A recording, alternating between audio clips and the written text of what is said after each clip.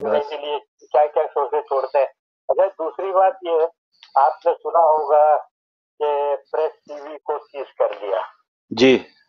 कल बारिश हो रही थी तो मैं मेरा सिग्नल खराब हो जाता है। जी। मैंने कहा लो भाई मैं जरा वेब पे देखूँ तो हमारा जो दूसरा चैनल है अपनी चैनल है वो भी हिदायत टीवी जी।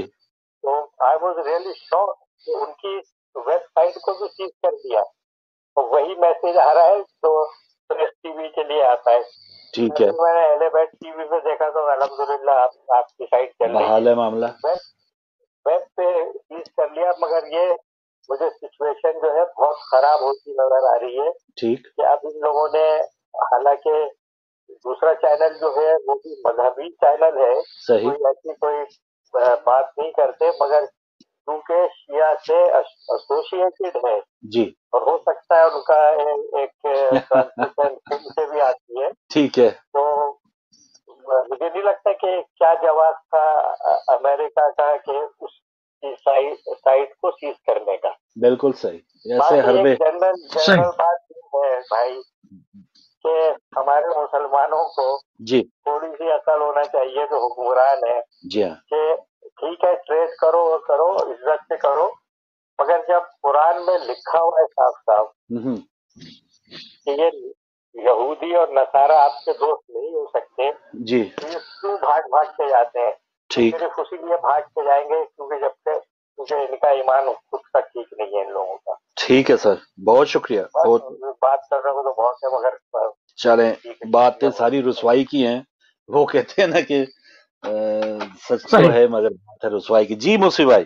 अच्छा देखिए देखिए ये एक बहुत बड़ी मकामत की कामयाबी है। एक वेबसाइट बंद करना ये अ, बहुत छोटी झुंझलाहट एक छोटी हरकत है।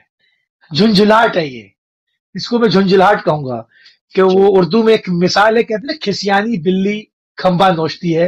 तो ये मकामत की बहुत बड़ी कामयाबी है कि अगर आप किसी के झूठ तश बाँध कर रहे हैं तो वो क्या करेगा? वो वो क्या करेगा? वो पलट कर उसका मीडिया बंद करेगा। जो प्रेस टीवी की और मुख्तलिफ़ और मुख्तलिफ़ बहुत सारे जितने चैनल्स हैं इनका अगर इन सब की फहरिस्त देखें तो इन सब का ताल्लुक मकतब तशैय से है।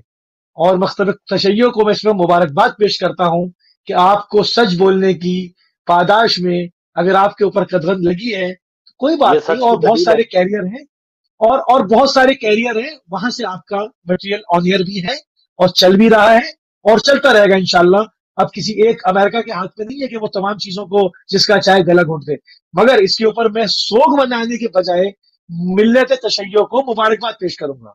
कि आप कुछ कर रहे थे तो शैतान को इस्तेमाल को तकलीफ़ हुई। आप कुछ ना कर रहे होते तो आप गले में हार पहना रहे होते ना फिर तो। सऊदियों की तरह आप तलवारें लेके नाच रहे होते तो आपकी कोई चीज़ बनना होता। आप खुद खुदा के लिए कर रहे थे जो शैतान को की चीखें बुलंद हुई हैं। तो मैं मुबारकबाद पेश करूँगा। बजाय इसके कि मैं इसके ऊपर ताजियत करूँ अफसोस करूँ क्रिटिसाइज करूँ ना क्रिटिसाइज करूँगा ना ताजियत करूँगा ना अफसोस करूँगा मैं मुबारकबाद पेश करूँगा। पूरी मिलत तशैयों को कि उन्होंने कुछ ऐसा किया जिससे शैतान की चीखें बुलंद हुई हैं। बहुत मुबारकबाद पेश करूँगा।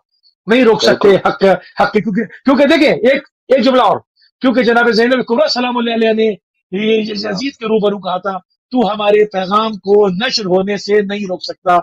नहीं रोक सकता तो नहीं रोक सकता। ना वो यजीद रोक सकता है ना आज का यजीद रोक सकता है ना कल आने वाला कोई यजीद का चेला रोक सकेगा। ये पैगाम यूँ ही नशर होता रहेगा। इसमें कोई मसला नहीं है। कोई ताजियत ना करे कोई अफसोस ना करे। मुबारकबाद पेश करें आप। बिल्कुल सही। और हक और सच होने की ये दलील है कि कोई भी आपकी जबान या आवाज़ को रोकने की कोशिश